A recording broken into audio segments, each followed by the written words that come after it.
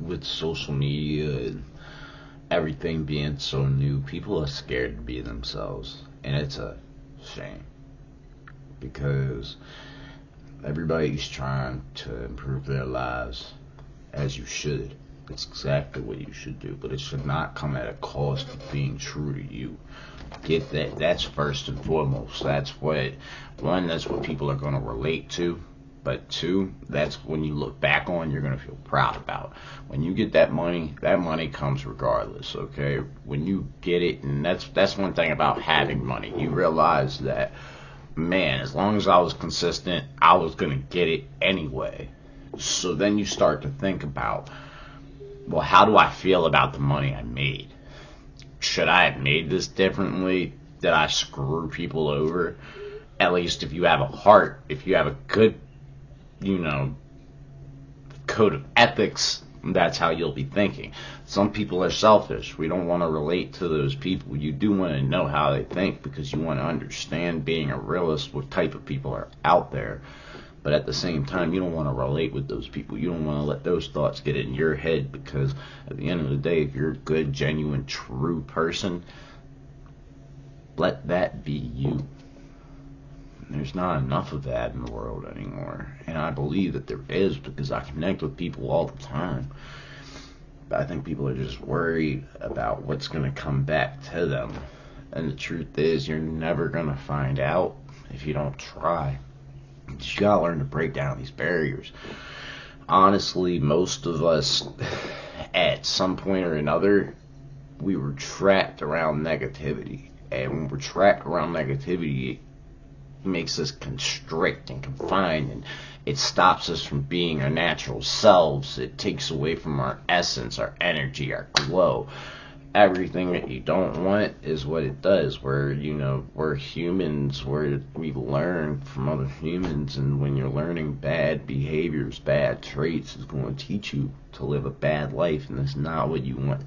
So at the end of the day, you can learn things about money from people that make money that aren't necessarily people you relate ethically with, but understand that you don't want to learn ethics from that person, okay? You can learn different things from different people. In fact, I encourage you to do just that, but understand what you're learning and who you're learning from because those are two things that you want to have answered before you just go accepting information. It's a good thing to learn. It's a good thing to believe that you can learn anything from anybody, but at the same time, look at people and see what's desirable from them before you just go taking information. I see it all the time in the financial world. People are like, oh, I saw it on social media. This is going to be $2 it's trading at two cents. And my whole point is, you know, just because somebody wants it to be two dollars doesn't mean that there's any real education or that there's any real backing behind that opinion. You just saw that information and you clung to it because you wanted to be two dollars, which is actually one of the biases we have to where you know you see what you want and you envision it and then you stop taking other information in. So you don't want to cling to those biases, you know, you just you want to go on through life and do so being a open, honest, normal person. I don't mean normal as in what today's normal is. I mean normal as in you. What's normal to you?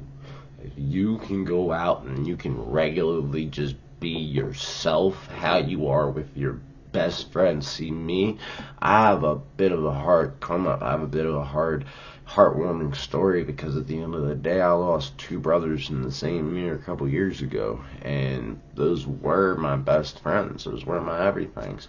So after losing them, the only thing that really gives me peace of mind nowadays is connecting with you, because at the end of the day, we connected being real, genuine people, and I lost a lot of that in my life when I lost them. And instead of going and finding new random people to cling to after I lost my closest two people over the same six months, I decided I'm gonna go online and I'm gonna teach our values, our family's values, the things that matter to us, that made us stick together, that made other people want to be around us and learn from us.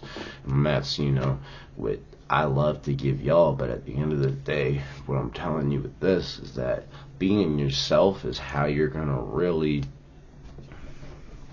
get what you want out of life. Because if you're trying to be anyone else, you're not going to be that person as efficiently as you can be. If you're being yourself and you're raw and you're real and you're giving the world you, then at the end of the day, there's never going to be a better you than you.